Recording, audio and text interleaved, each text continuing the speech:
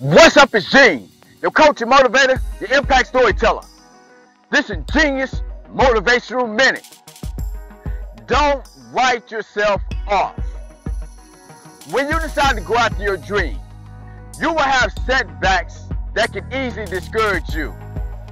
And if you write yourself off, your dream will never become a reality. Six years ago, I had a friend that had a dream of being a professional speaker like me.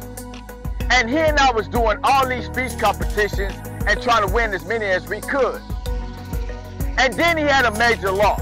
And after that loss was over, he told me that he was not going to do it again. And because he wrote himself off, he did not make his dream become a reality. And it's the same thing with you.